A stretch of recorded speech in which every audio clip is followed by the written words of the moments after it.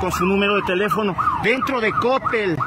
No se vale, no se vale lo que haces. Es menor de edad, tiene 12 años. ¿Por qué lo haces? ¿Quieres que te la traiga? ¿Dónde está el mando? Sí, ella es mi hija y está de testigo. No, no puedo. Por seguridad de todos. A ver, ¿qué pasó, jefe? Usted no me puede grabar, ¿Sí puedo grabar? ¿sí? Tenemos que documentar también. Pueden saber procedimientos penales. Ok, ok. Si no sabe, para acá. Claro que sí. No se vale lo que haces. No, no sé qué pasó. Eh, Mira, explíqueme. entramos a la tienda, ellos también. El niño es muy de que a los policías los saluda. Sí, sí, sí. El señor llegó y lo tocó en su cabecita. Lo acompaña mi hija y su, eh, su cuñada. La niña tiene 12 años y le está solicitando su número de teléfono.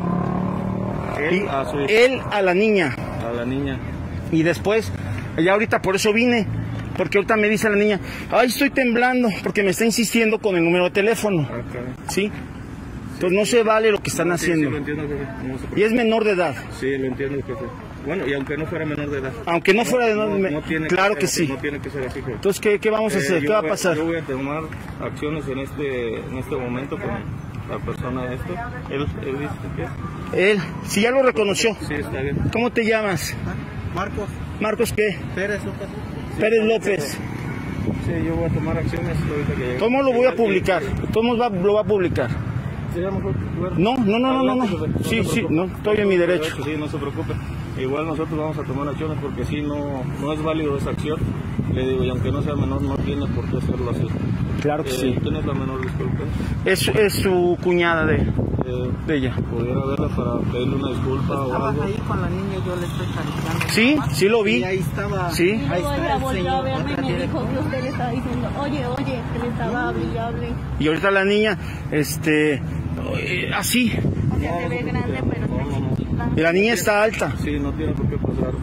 Puedo verla para ofrecerle una disculpa por parte Claro de que sí. O sea, no para otra cosa ni, ni mucho menos.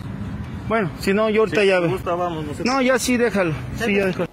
Así inicia la mesa roja del día de hoy. Mire nada más que ingrato elemento de la Guardia Nacional que acosa a una menor de 12 años de edad. Le valió que fuera con su hermanito y aún con su cuñada. Así es, el hombre fue encarado por un adulto que lo responsabilizó de atemorizar a una joven a quien le insistió en darle su número pese a ser menor de 12 años. Al ser señalado, el agente de Guardia Nacional sacó entre sus ropas un pedazo de papel, aunque no se puede identificar si hay algo, bueno, pues es donde supuestamente la niña escribió su teléfono y es entonces cuando el hombre que sostiene el móvil insiste en que no está bien lo que hizo, pues lógicamente no está bien. Esperemos que la Guardia Nacional, porque hasta el momento no se ha querido pronunciar respecto a este hecho allá en Guanajuato.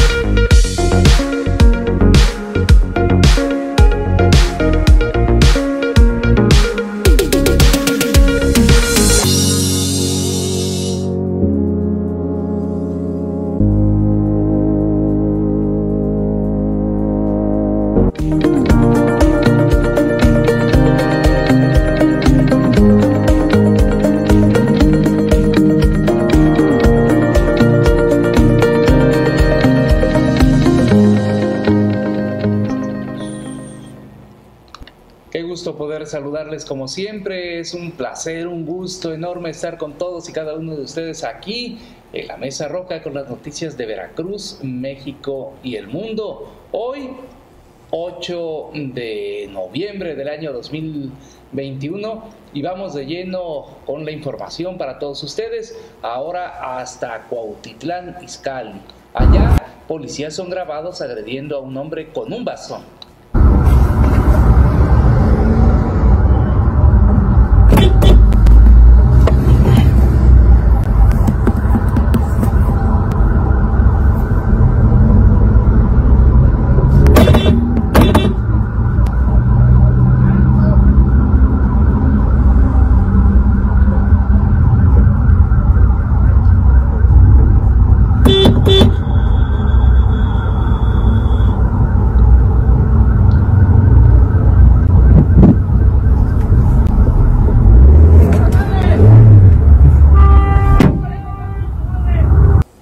Pues así este adulto mayor y a pesar de traer un bastón, son agredidos por policías de Cuautitlán, Izcalli.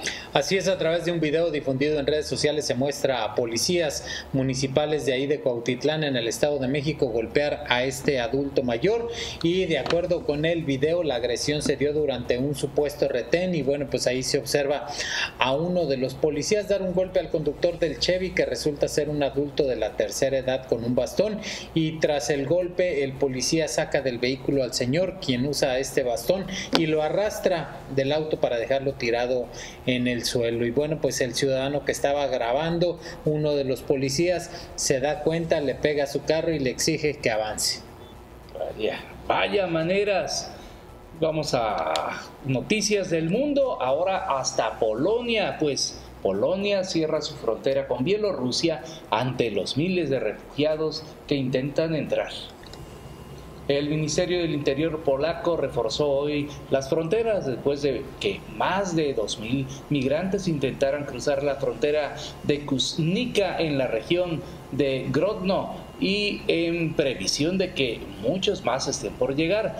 Las autoridades de Polonia han anunciado este lunes medidas de refuerzo en su frontera con Bielorrusia ante la amenaza que supone la llegada masiva de migrantes y han advertido de que puede producirse una escalada de acciones militares en la zona. Por ello, la Guardia Fronteriza polaca ha informado de que el cruce con la frontera de Kuznica, cerca de la zona donde se reúnen los migrantes, estará cerrada. Más de 2.000 migrantes han intentado cruzar la frontera con Polonia en la región de Grodno, según ha informado el Comité Estatal de Fronteras de Bielorrusia. Pues vamos a estar al pendiente a ver qué información sale, porque supuestamente el día de hoy a las 7, que ya, ya, es para ellos mañana, pues vamos a ver qué fue lo que sucedió en este cierre, cierre fronterizo. Y vamos con notas eh, nacionales. Oh, ah, bueno, pues el COVID es nota nacional, por supuesto que sí. El día de hoy se han reportado 810 nuevos contagios, sumando ya un acumulado de 3.827.596. En cuanto a las defunciones, hoy se reportan 77, llegando ya a una cifra oficial de 289.000 811. Mientras tanto, en el estado de Veracruz la situación es la siguiente. 120.116 casos negativos, 12.999 casos sospechosos y 122.607 casos confirmados. Lamentablemente, la cifra negra de esta pandemia en el estado de Veracruz es representada por 14.526 fallecidos de manera oficial y cuestionan la suntuosa boda de Santiago Nieto. La suntuosa boda del ex titular de la Unidad de Inteligencia Financiera y la consejera del INE, Carla Humphrey, eh, realizada en la ciudad de Antigua, en Guatemala, causó escosor entre los detractores del actual gobierno que cuestionaron la austeridad que no mostró el enlace matrimonial el 6 de noviembre pasado. Según Reforma, contrajeron matrimonio en el hotel Casa Santo Domingo en la ciudad de Antigua, en Guatemala, porque en ese país centroamericano murió la madre de Santiago Nieto. La cena consistió en una entrada de esfera de carpaccio con aguacate y tártara de atún, seguidos por ravioles rellenos de queso brie y sorbete de limón y un asado de tira y un robalo crujiente de plato fuerte, el postre fue macarroni de chilacayote y champaña. Un día antes se llevó a cabo un cóctel de bienvenida para los invitados, uno más al mediodía antes de la boda, y la tornaboda fue el domingo a mediodía con un brunch en los jardines del Hotel Casa Santo Domingo. Ahí estuvieron la fiscal anticorrupción María de los Ángeles Mijangos y su esposo, el ex titular del Instituto para devolverle al pueblo lo robado, el administrador general de aduanas del SAT, Horacio Duarte, la ministra de la Suprema Corte de Justicia de la Nación, Yasmín Esquivel Moza, la gobernadora de Campeche, Lauda, Laida Sansores, y la ahora exsecretaria de Turismo Capitalino, Paola Félix Díaz, acompañados por el productor artístico Alejandro Go Boy. Pues estuvo bien, ¿no? Hasta pudieron ir en jet, este, fueron todos allá y bueno, pues se ve que se la pasaron bien. Ha habido varias bodas así de suntuosas en esta... ¿A poco tú, si tuvieras varios millones, miles de millones de dólares en tu cuenta y estuvieran a punto de congelarte tu cuenta, no le pagarías su boda con todo? Bueno, pues Hasta es, que le echen aguacate, ¿va? es un negocio redondo. Imagínate, es el que puede congelarte las cuentas. Ahora, la secretaria de ex secretaria de Turismo de la Ciudad de México la detuvieron con 30 mil dólares. 35 35 mil dólares. Así es. Imagínate, pero, Pero pagas tus varios, pero ¿cuánto es 35 mil dólares? 700 mil pesos nada más, para llevarlo así en la bolsita, en la cartera. digo, Es que gastan bien. Mejor vámonos con otros temas. México espera largas filas al reabrirse la frontera con Estados Unidos. Vamos a ver cómo entró la primer mexicana por la frontera que se abrió en la madrugada del día de hoy. entre México y Estados Unidos que se hace tanta falta poder venir. Muy felices. Muy contentas. sí. ¿De dónde Muy viene y de dónde agradecidas. Venimos de Monclova, Coahuila y vamos a Iglepaz. Si se puede saber a qué van. Vamos de compras a Walmart, al casino y a ver qué novedades vemos. Gracias, nuevo. señora, ya se extrañaba él. Ay, muchísimo, muchísimo. Estamos muy contentas, la verdad. No pensamos ser las primeras. Ahora sí que aplica el dicho el que el que madruga, este, podemos Pues autoridades y residentes de ciudades fronterizas mexicanas anticiparon este domingo largas filas cuando la frontera entre México y Estados Unidos sea reabierta el día de hoy lunes con viajes no esenciales tras más de 20 meses cerrada por la pandemia del COVID. El gobierno de Ciudad Juárez, en donde viven 1.5 millones de personas, desplegaron un operativo especial para dirigir el tráfico hacia Estados Unidos. Además, la reapertura de la frontera pues provocó un desabasto de dólares en los centros cambiarios de la ciudad. Eh, eso dijo el presidente de la Canaco y por su parte autoridades estadounidenses pidieron a los mexicanos que no viajen en horarios de mayor afluencia y cuando lo hagan que tengan a la mano su eh, prueba de vacunación completa, si no, no van a poder pasar la frontera. Hay quien solamente fue a tomar café. Exacto, sí, sí, sí, pues es que hay muchos que nada más van a, a ver cómo está el tema del otro lado y se regresan. Porque, ¿cuántos? ¿18? ¿Qué? ¿19 meses? cerrada 20 la meses, frontera? 20 meses cerrada. 20 meses. 20 meses cerrada la nada frontera. más. Y eh, acostumbrado a ir y venir, a lo mejor, Cada A fin de tomar semana. café, sí, hay gente que sea. se cruza. ¿verdad? Hay gente que van a más no, a ver. no se dice se cruza, o sea. Sí, cruzan la frontera. Ah, en ah. el cruce fronterizo. Ya, perdón, estaba yo pensando mal como. Como siempre. Mejor vamos eh, con más información. En notas locales se va Ángel Carzolio de la Delegación de Tránsito y Transporte Público. Luego de 13 meses en el cargo, Ángel Carzolio Hernández fue relevado del cargo como delegado regional de transporte público con jurisdicción en Poza Rica, Coatzintlán y Huatlán, tras los disturbios ocasionados por taxistas que hicieron públicos los abusos por servidores públicos. Eh, tras el conflicto ocurrido en Poza Rica con las medidas de presión de taxistas que se han inconformado por la falta de atención ante los abusos que son víctimas de la policía vial, sucedió este cambio donde a partir de ese lunes 8 de noviembre, Javier Ascoitia Blasquez es la persona que toma el bando de esta dependencia de transporte público, aunque extraoficialmente se difunde que el cambio de Ángel Carzolio es por una acción de rutina para rotar el cargo. Cabe mencionar que el servidor público fue enviado a otro municipio, aparentemente al puerto de Veracruz. Pues a ver cómo le va al nuevo delegado aquí en Poza Rica, porque las cosas están bastante turbias. Y esta es la caricatura del día de hoy. Fanático, sospecho que esos autos son neoliberales. Y es que el día de ayer en el autódromo de la Ciudad de México, eh, Sergio El Checo Pérez, pues quedó en tercer lugar y hubo unos momentos a la mitad de carrera que estuvo durante tres vueltas encabezando, liderando este gran campeonato. Así es, y mira nada más. La 4T pues apoyando a la Fórmula 1, pero quien no la apoyó fue la secretaria de Turismo.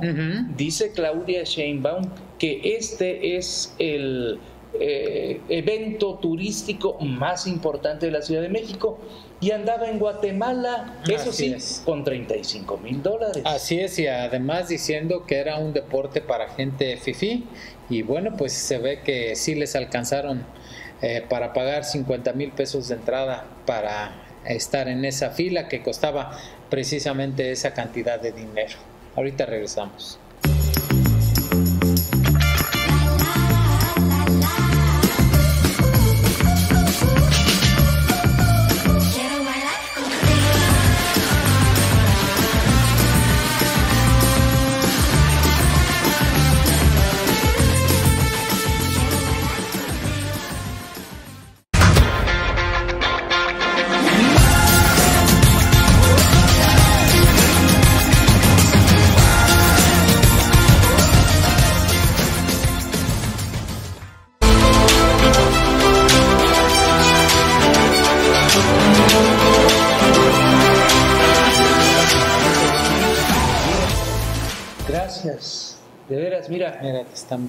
Con todo mi corazón te agradezco es pequeño. todo lo que haces. Es pequeño. Mi corazón es pequeño. Es pequeño. No, no es pequeño. ¿Quién te ha dicho que es bueno? Está, está medias. Ni a medias. Ni a medias. Perdón, nos agarraron aquí platicando estos camarógrafos que no nos avisan, ¿verdad? Porque no fue a propósito. No, no, para nada. que no. Saludos a mi tía Lidia Ferral Mendoza. Fuerte abrazo, tía. Gracias por estar como siempre siguiendo y compartiendo esta transmisión. Para eh, el ingeniero Margot Saleta Falla, fuerte abrazo, gracias Margot. Para la licenciada Maribel Díaz, fuerte abrazo, como siempre es un gusto saludarte. Eh, dice Cristal Aparicio, saludos amigos de La Mesa Roja, excelente programa. ¿Será que tenga razón Cristal Aparicio con que es un excelente programa La Mesa Roja? Más que razón, buen gusto, ¿no? Ah, claro que sí. Para la maestra Mati Flores, allá en Valle de Bravo, Estado de México. Para la maestra Magali, fuerte abrazo. Malicha Magundo, fuerte abrazo. Mira nada más, el señor Carlos Cuevas, gran amigo, fuerte abrazo. Lord, es que yo lo tengo como Lord caricaturista. ¿A poco nos está viendo? Pues aquí dice, dice, ¿verdad? Saludos, no nos, saludos a Carlos. No nos saluda, no nos escribe. no sé qué le, ¿qué le hiciste, Toño. Pues yo, nada, yo nada, saludarlo y quererlo, como siempre. Saludos para el lobo de las ofertas, el señor licenciado César Ulises Rivera Garza, para Donald Flores, para el licenciado Juan Carlos Ortiz Crisfield, también fuerte abrazo. Chuy Mejía, Jesús Mejía, fuerte abrazo. Toya Costa, Yamil Ali Pérez, allá en Jalapa. Mira, el flaco nos está viendo, el flaco. El flaco el flaco, el nuevo flaco, nuevo flaco. Alan García Zúñiga, señor licenciado y periodista para la licenciada Isabel Jiménez en Coatepec, nos está viendo Alexandro Vázquez, para la doctora Magdalena Peralta Castellanos, para Marcela Galindo Vicencio, fuerte abrazo por estar siguiendo esa transmisión. Y es momento de ir a las policíacas de la Mesa Roja.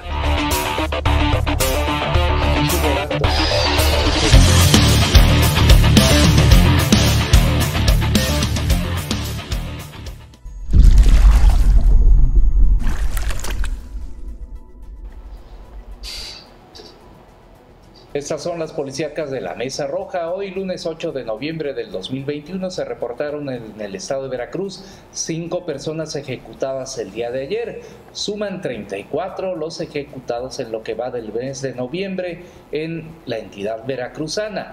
el saldo rojo de la violencia en todo el país suma hasta el momento en el sexenio de Andrés Manuel López Obrador 12.114 muertos. 102 mil. 102 mil. ¿Y qué dije yo? 12 mil. 12 mil. No, pues ¿cómo 12 mil? No. Mejor vamos a más. Dan 70 años de prisión a un hombre que mató a bebé porque no dejaba de llorar. Así es, la autoridad judicial con sede en Cuautitlán dictó una sentencia condenatoria de 70 años de prisión en contra de un hombre que asesinó a un bebé de nueve meses de edad hijo de su pareja sentimental porque no dejaba de llorar. Esto en el municipio de Tultepec, en el Estado de México. Se trata de Porfirio Martínez Tienda de Jesús, quien además le fue fijada una multa de 323.800 pesos como reparación del daño, aunado a que sus derechos políticos y civiles quedaron suspendidos. Nuevo ejecutado en Martínez de la Torre. Los primeros datos señalan que iba sobre la banqueta del centro de la ciudad una persona de sexo masculino quien vestía una playera con color rojo, pantalón de mezclilla azul y zapatos de color café. Dicha persona fue agredida por dos sujetos armados y desconocidos quienes viajaban a bordo de una motocicleta. Le dispararon en varias ocasiones y después se dieron a la fuga con rumbo desconocido.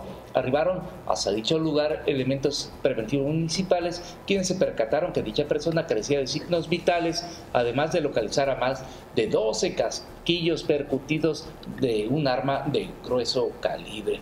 Dichas personas se encuentran hasta el momento en calidad de desconocido. Vamos hasta Chinameca porque allá ejecutan a un hombre frente a un Bama. Así es, en Chinameca, en el sur de Veracruz, un hombre fue asesinado cuando se encontraba en el estacionamiento de una tienda de conveniencia. La víctima estaba frente al volante en un auto rojo estacionado por la tienda Bama cuando sujetos armados llegaron a bordo de una motocicleta y le dispararon. La agresión ocurrió en el barrio Cruz Verde, en la calle 16 de septiembre de este municipio, en donde después de la balacera escaparon los delincuentes también con rumbo desconocido. Y era cubano el ejecutado en Oluta. Autoridades de Veracruz informaron ayer, 6 de noviembre, sobre el asesinato de, a balazos de un cubano identificado como Dairon Carvajal Cortés en el municipio de Oluta. Eh, Carvajal Cortés fue encontrado con cuatro heridas de balas, una de ellas en la cabeza, en la carretera que conecta Oluta con Texixtepec. El cubano de 23 años se desplazaba por allí a bordo de una motocicleta itálica. Fue interceptado por varios individuos que le dispararon y pues motociclistas informaron a la policía sobre el cuerpo abandonado en la vía. Vamos a continuar con más. Matan en Estados Unidos a maestra de Jalapa. Detienen a dos estudiantes. Así es, una maestra de español de secundaria identificada como Noema Graver fue asesinada por sus alumnos en Iowa, en Estados Unidos, en donde la policía investiga el deceso de la docente mexicana originaria de Jalapa, supuestamente a manos de sus estudiantes.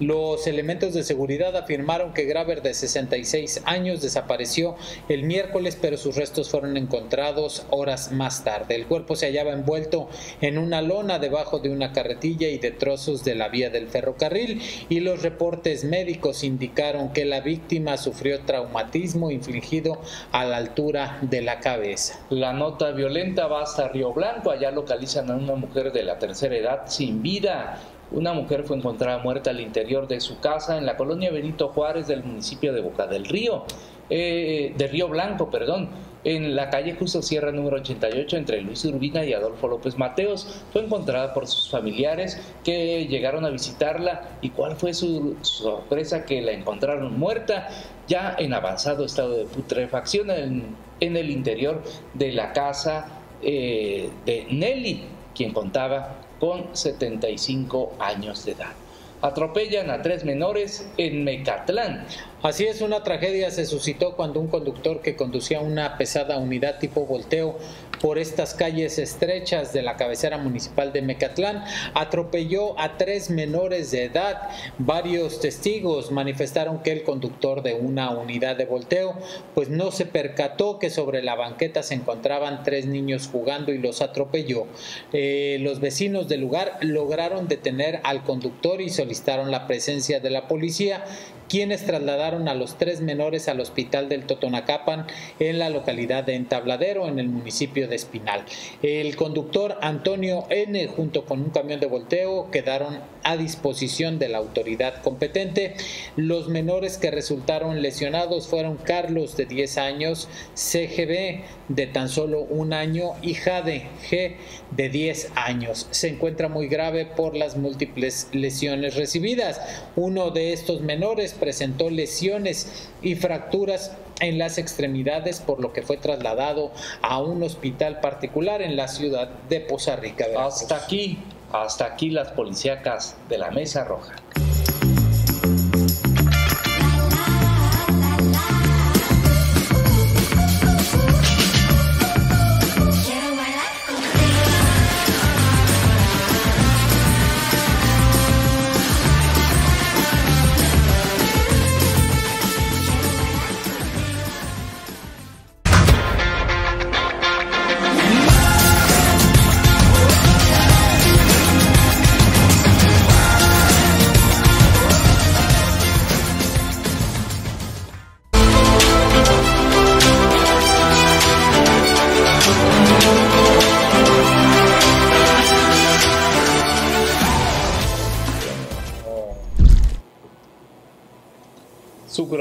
Es un condominio, sabemos muchos.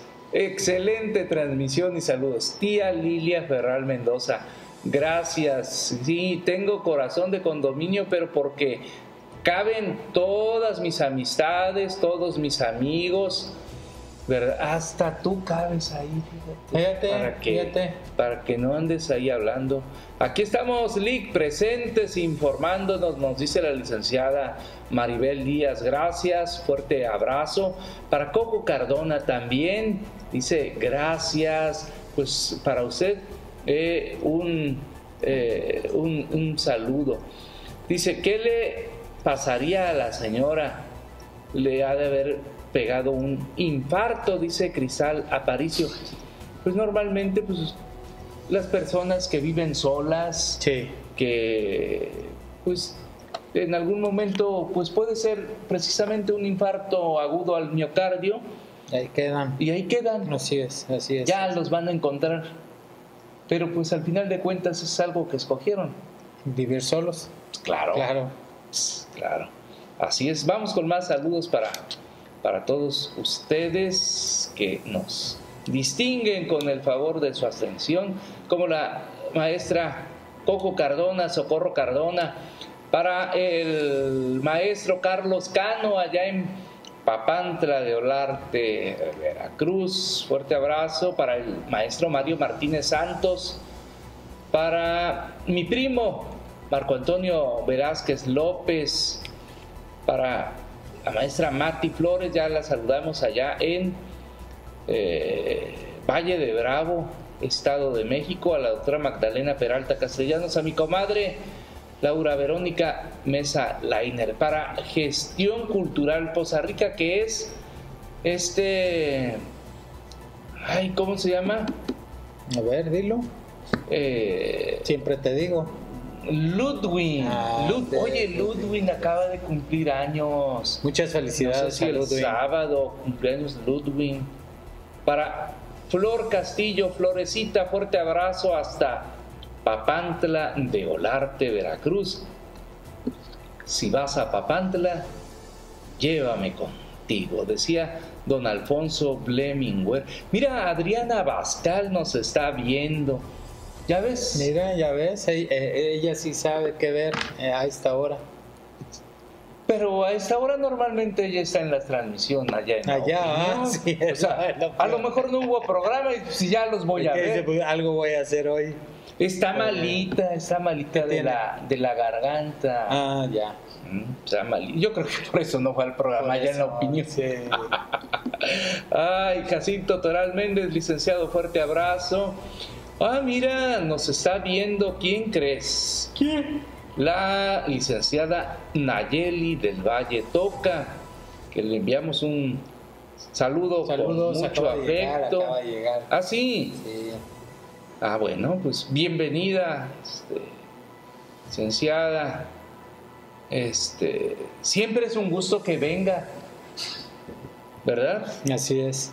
Al licenciado Miguel Chagoya Pérez, para la licenciada dice, Eloy de la Cruz, no me lo va a a creer, pero Eloy de la Cruz nos está viendo, así como el señor licenciado y maestro Arturo Honorio Ramírez, la maestra Clara Méndez, maestra Clarita, hasta Riachuelos, hasta Riachuelos van los saludos para el licenciado Eder Sánchez en Papantla de Olarte, Veracruz.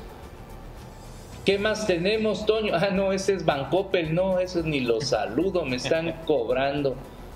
Pues fíjate que acaban de decir que eh, detuvieron a tres policías involucrados en la muerte de Octavio eh, Ocaña y bueno, pues la Guardia Nacional detuvo a tres personas relacionadas con la muerte del intérprete de Benito en la serie televisiva Vecinos y fue el papá el que dijo que ya los tres están detenidos. Se trata de dos hombres y una mujer, siendo esta última la policía acusada por robarse la cadena de oro de Benito y de haberse llevado su celular de donde salieron los videos en donde él salía consumiendo estupefacientes y disparando un arma de fuego. Qué imagen eh, que deja mucho que desear esa de la elemento de la policía.